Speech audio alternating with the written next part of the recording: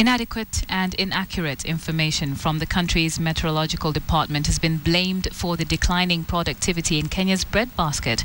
A group of scientists calling themselves the Consumer Unit and Trust Society are now warming, warning of an imminent reduction in maize productivity by up to 10 million bags this year following the lack of timely weather information to farmers. Here's KTN's Philip Keitany with the report. The risk associated with extreme weather condition brought about by climate change continue to affect the country's agricultural productivity in spite of strides in the meteorological services. The system to warn farmers on climate change are inadequate, leaving them exposed. Certainly one thing is clear. Climate change is here and it's here to stay.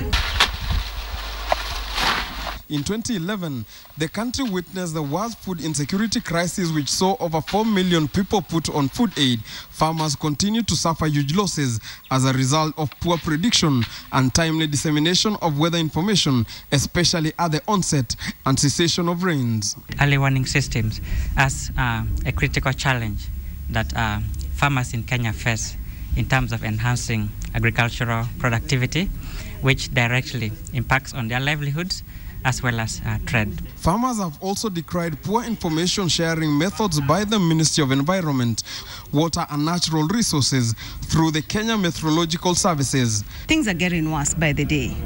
And therefore, if we sit back and continue doing things the same way we've done them all the years, then expecting different results, we're certainly not going to get anywhere.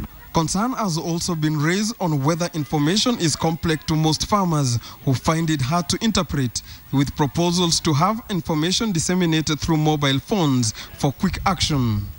Philip Keitany, KTN Business.